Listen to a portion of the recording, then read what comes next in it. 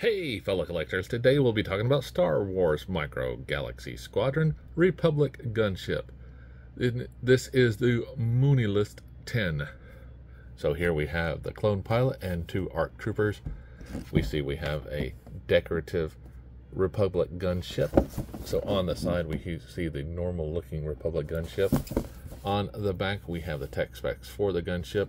See that the guns rotate 360. We have a little gun in the back we have some other accessories that move along with it. We do have some other vehicles in the line. So on the side, we see a little bit more of that action. So let's get it on the scale and see how much it weighs. All right, the Republic gunship is coming in at 14.8 ounces. So let's get it off the scale. Oh, now that we have it out of the box, let's look at the troopers first. Great looking details in these troopers here. See the front and back. ARC troopers look very nice.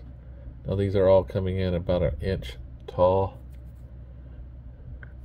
They all have the same articulation, arms and feet that go forward and back to sit down in the cockpit or wherever you choose to let them sit. Okay, now the gunship is coming in at seven and three quarter inches wide and eight and three quarter inches long. So it's a very, very big ship to take up on your shelf, especially for the Micro Squadrons Galaxy. Not as big as a Millennium Falcon, you know, but it's a large. Very, very nice on this. Then we have the little guns are on the wings that also rotate here. We have the gun in the back that does a little rotation. These that go forward and back. And they have a little space for the cockpit. And the big guns here at the top.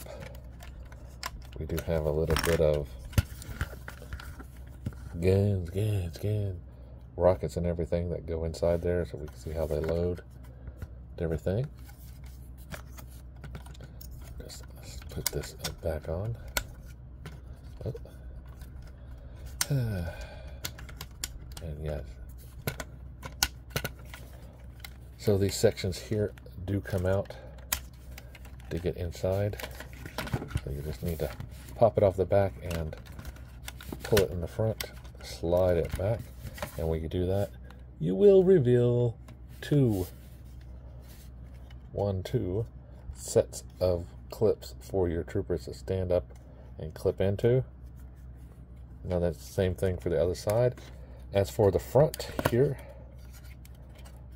get this open. I can't remember. It opens at the top. Yeah, it opens at the top. Here we have the cockpit for the front. Very nice detail for it even have the little radar dish inside there molded in. So very cool that they included that kind of detail. The guns in the front rotate around. So they do the side to side, everywhere motion. So very cool that they included these features in this.